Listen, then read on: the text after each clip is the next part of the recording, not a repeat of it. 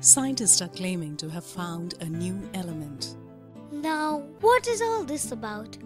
A new element? Hmm. The universe is made up of different elements.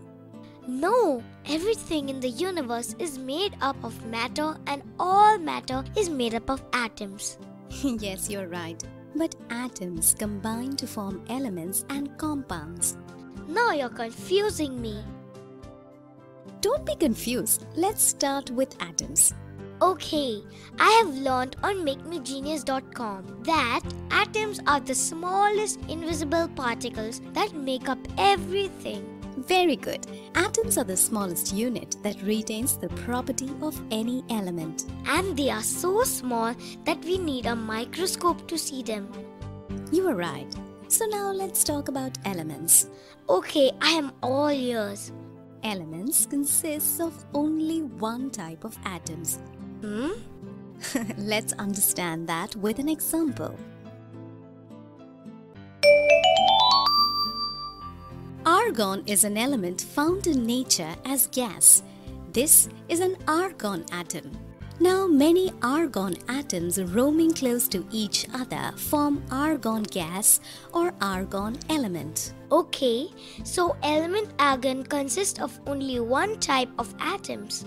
Now let's see another element, nitrogen gas. Nitrogen is another element. Its atoms occur in pairs. So two atoms of nitrogen together form nitrogen element? Yes, many such pairs close to each other form nitrogen gas.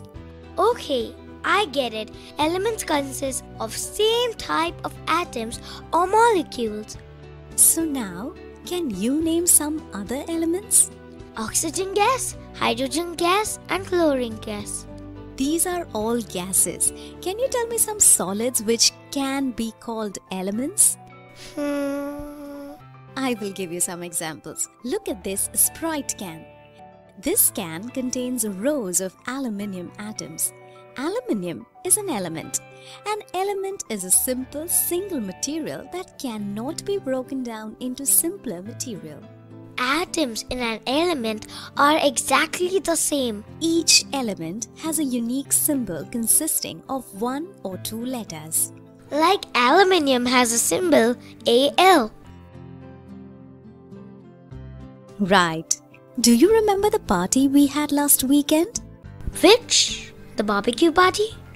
yes, the charcoal that mom used for the barbecue is made up of carbon atoms. So carbon is also an element and its chemical symbol is C. Very good. Another example, my earrings are made up of gold. Gold is yet another element and its chemical symbol is G. no, it's Au from the Latin word for gold, aurum. Oh, okay. Sometimes atoms can join together to form molecules. Many common gases exist as molecules. Like my previous examples, nitrogen, oxygen. They are examples of elements made up of two or more atoms of the same element. Sometimes atoms of two or more elements combine in a chemical reaction to form compounds. Like if I mix hydrogen and oxygen. It's not just mixing. A complex process called chemical reaction is required. Okay. Hmm, yes. In air, all the gases like oxygen, nitrogen, etc. coexist as different elements. Okay, so hydrogen and oxygen, when chemically react, form water. Yes, its chemical symbol is H2O. Two atoms of hydrogen and one atom of oxygen combine to form water. And water is liquid, unlike hydrogen or oxygen, which are gases. Yes, the properties of a compound are different from those of its elements. Any other example? This common table salt. I guess this is a compound. Yes, made up of two elements, sodium and chlorine. Sodium and chlorine combine by some type of chemical reaction to form salt. Right, sodium chloride. To be precise, one atom of sodium and one atom of chlorine chemically joined make up sodium chloride or common salt. Let me guess its chemical symbol. Na of sodium and Cl for chlorine make it NaCl. Wow, yes, a compound is a brand new material with completely new set of properties. And it does not have the properties of the elements that it is formed of.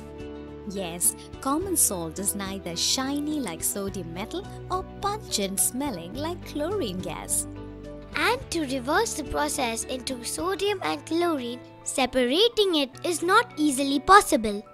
Can you tell me an example of something that has both elements and compounds?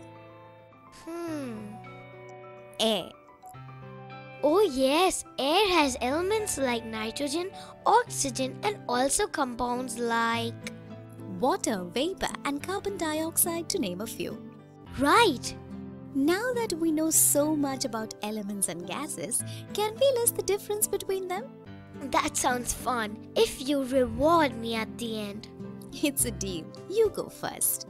Elements consist of same type of atoms, whereas compounds are made up of two or more types of atoms that are chemically combined. A compound can be broken into simpler elements using chemical reactions, whereas elements cannot be broken down further. We can form endless compounds, whereas as of now, there are about 117 elements that have been observed. Compound is expressed using a formula, whereas elements are expressed as symbols. Examples of compounds are water, common salt or sodium chloride, sodium bicarbonate, etc. Examples of elements are hydrogen, oxygen, carbon, etc. Now my chocolate. Here it is. I'm loving it.